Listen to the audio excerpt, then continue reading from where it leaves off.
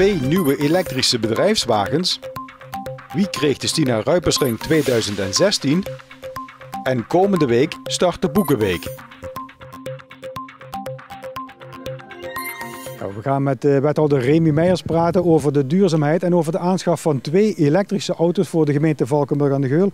Meneer Meijers, waarom uh, twee elektrische auto's nou een keer? Ja, uh, nou in één keer. We hadden behoefte aan twee bedrijfsauto's. Hè. De, de oude waren op. Dus toen kwam de mogelijkheid voorbij om dat op een duurzame wijze te doen. Beter gezegd, elektronische auto's elektrische auto's daarvoor aan te schaffen. Dus die kans hebben we gegrepen. Er moet zeker een pluim voor komen. In de eerste plaats voor uh, uh, ambtenaar Bernard Katerberg. Want die is daar met het idee op de proppen gekomen. Het is ook een uh, nou, sowieso financieel voordelige constructie voor de gemeente. Dat is natuurlijk altijd fijn. Maar we vinden vooral belangrijk dat we hier als gemeente mee uitstralen dat ook wij onze bijdrage aan duurzaamheid leveren. En dat we ook aan onze burgers de mogelijkheid kunnen bieden om zelf ook duurzamer te worden. Het rijden in een elektrische auto uh, ten opzichte van een brandstofauto is ongeveer een derde van, uh, van de kosten. Veel succes met, met deze nieuwe vorm zeg maar, van, van jezelf vervoeren.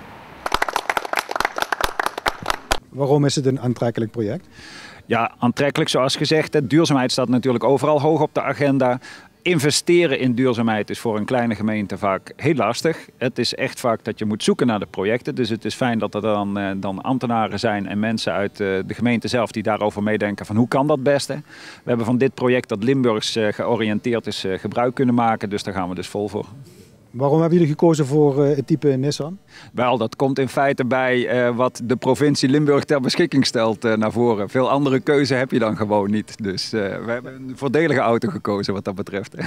We hebben beelden kunnen maken tijdens de eerste proefrit. Hoe is die bevallen, die eerste proefrit? Nou, dit is echt fenomenaal gevoel. Hè? De auto is helemaal geluidloos. Dat is zelfs een beetje eng, want de omgeving kan je ook moeilijk horen. Vandaar natuurlijk dat er ook piepjes en zo in zitten. En wat je ook merkt, het, het, is, het is geen flauw autootje. Je moet echt voorzichtig uh, het gaspedaal indrukken, want je zit zo op de 50 km per uur. Dus was de eerste ervaring met een elektrisch aangedreven auto? Dit was voor mij de eerste ervaring met een volledig elektrische auto. Ja, en die is zeer goed bevallen. Dat, dit gaat de toekomst worden. Jullie hebben allemaal net het geluid gehoord van de Bobcat. Dat maakte iets meer lawaai dan onze elektrische auto's. Uh, we zijn zeer verguld dat we deze kunnen hebben aanschaffen en daarmee weer een stapje hebben kunnen zetten in gewoon het duurzamer maken van onze gemeente. En dat op een vrij voordelige wijze voor het budget en dus ook weer voor de inwoners. We hopen daarmee natuurlijk ook dat we onze eigen bijdrage kunnen leveren aan de duurzaamheid die zo hard nodig is.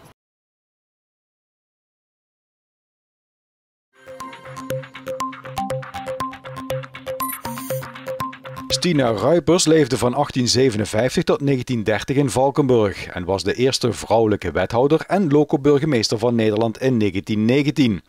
Zij was gedurende 11 jaar intensief betrokken bij de Valkenburgse politiek. Tweejaarlijks wordt de Stina Ruipersring uitgereikt. Dit jaar 2016 door de Kunst- en Cultuurraad Valkenburg aan de Geul. En dit jaar wordt de ring op Wereldvrouwendag uitgereikt aan een man. Het kan in Valkenburg. Hij wordt uitgereikt aan Henk Kwakkenaat. Hij staat naast me. Henk, wat was je eerste gedachte toen je het nieuws hoorde? Ik verbond het helemaal met de Emancipatieraad, waar het initiatief oorspronkelijk bij werd. En ik wist me dus even geen raad. Ik denk, uh, ik ben toch op dat terrein uh, niet uh, erg toes. Maar ik begreep, het is ook een initiatief van de Raad voor de Kunst. En langzaam begon ze te dagen hoe het vandaan komt.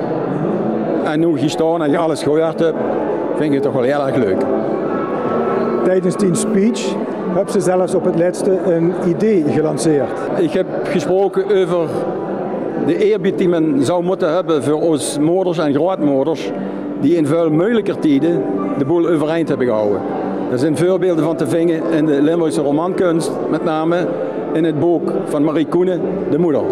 Marie Koenen heeft onder andere in Houten gewoond, was getrouwd met Felix Rutte, ook een Limburger. En het zou wel eens goed kunnen zijn van die Marie Koenen, of van de moeder als archetype, een standbeeld in Valkberg te zetten. Want standbeelden van Manslief staan over de hele wereld al genoeg. Op een specifieke plaats op zich genomen? Op het nieuwe prachtige Dr. Erensplein. De man, de moeder, de Limburgse moeder, de Valkenbergse moeder, daar wordt het een stiet voor. Vandaag is het Internationale Vrouwendag. En dan wordt uitgerekend dich als man uitgeroepen en gedecoreerd met de Stina Ruipersring. Het, het is toch eigenlijk niet een samenspraak met hem? Ja, dat dacht ik ook in het begin. Maar ik heb gewerkt van het organiserend comité dat ze dat Gert Breyer hebben getrokken. En ondanks het feit dat er het tijd wordt dat weer een vrouw aan de beurt komt, zijn er toch lui geweest die zagen het moet naar hem gewoon. Ja, ik kan dat niet tegenspreken. Hè. In 1923 werd Stina Ruipers voor de tweede termijn als raadslid gekozen en mocht in 1927 weer hernieuwd als wethouder aantreden. De emancipatiering is naar haar vernoemd. Omdat we een uh, redelijk uh, zachte winter hebben gehad, hebben we, hebben we minder hoeven strooien en daardoor hebben we geld over. En dan hebben we eigenlijk besloten om uh, juist om in het centrum en rondom de bejaardenhuizen en verzorgingstehuizen goed te kunnen strooien, hebben we een klein strooiwagentje aangeschaft. Wat toch met name voor die gebieden die wat niet direct in eerste instantie gestrooid worden, omdat toch de mede, voormalige WOZL-medewerkers, om die daar te kunnen inzetten, om die paden ook begaanbaar te houden. En we vonden het niet groot genoeg om het in één keer te presenteren, maar we zijn toch voertuigen aan het presenteren. Dan nemen we deze ook even mee in die zin.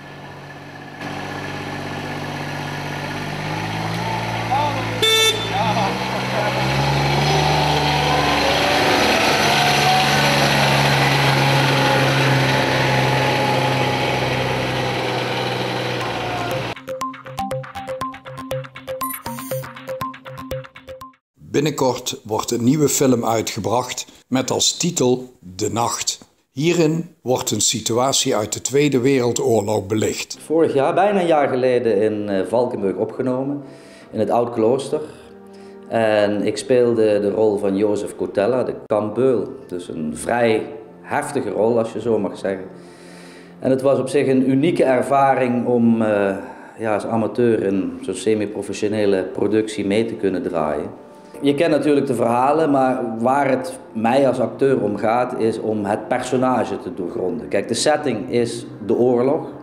Dus dat beeld wordt gecreëerd door de filmmakers. En mijn functie als acteur is om de persoon, Cortella, proberen neer te zetten in het plaatje oorlog. Nou, en ik denk nu een ruim een jaar geleden, toen uh, hebben de twee mede-producenten, want na de hand hebben ze gevraagd of ik de film ook voor een stuk wilde meeproduceren, uh, Frank Munnekom en Björk Ree, mij benaderd uh, met het initiatief dat ze een film wilden maken over een laatste nacht van een aantal gijzelaars in concentratiekamp Amersfoort. En dat laat de heel menselijk verhaal uh, laat dat zien. En dat sprak me heel erg aan, omdat wat wij hier in het museum willen laten zien, ook de menselijke kant van die Tweede Wereldoorlog. Uh, dus niet alleen met tanks en wapens en kanonnen, maar uiteindelijk zijn het mensen die oorlog voeren. Dat laten we hier zien, dus dat sprak me heel erg aan. En wat ik voor mijn rekening genomen heb uh, bij die productie, dat is de authenticiteit.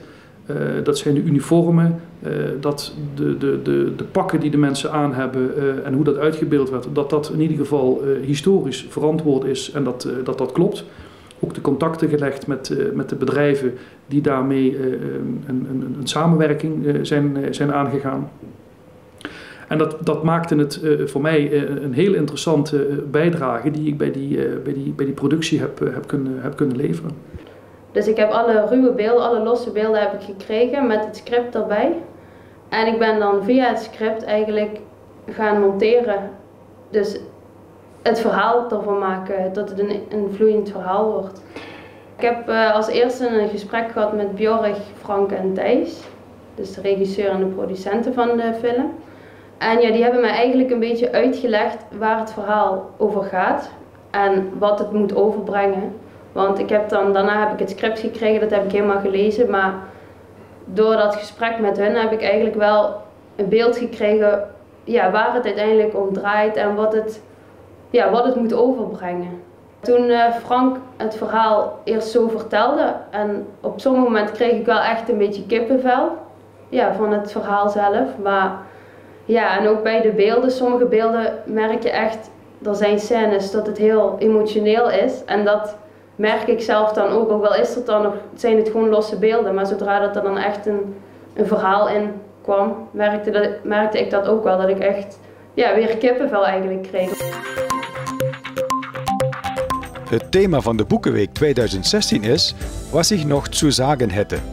De bekende regel uit een liedje van Reinhard May. Aansluitend bij het thema organiseert de Heuveland Bibliotheek Valkenburg op donderdagavond 17 maart een presentatie met film door Angela Mol.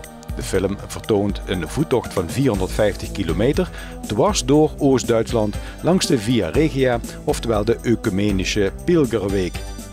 Op uitnodiging van de stichting Cultuurcafé ten Dwingel en de Heuveland Bibliotheek Valkenburg zal Margriet Brandsma op donderdagavond 31 maart een lezing houden over de achtergronden van het nieuwe Duitsland.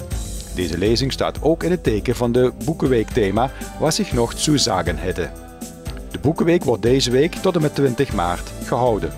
Kijk voor meer tips naar Uit in Valkenburg via tvvalkenburg.tv/uit.